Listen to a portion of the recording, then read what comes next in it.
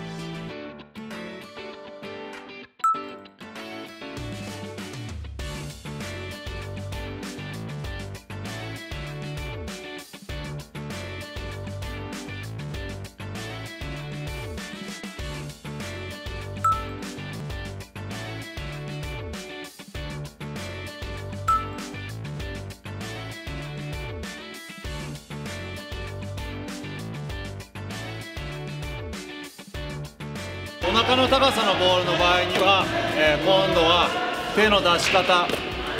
手は下の方から出してください。でまた上半身はボールをキャッチする瞬間に、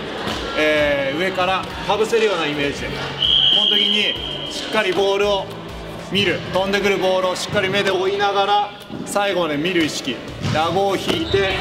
ボールをしっかり見る意識をすれば上半身は必ずかぶせられます。で手の出し方。正面のさっきと一緒で体の近くで取るのではなく前に手を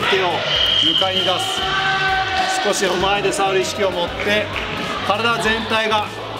袋になるイメージでボールを包み込むような感じでボールをキャッチしてください。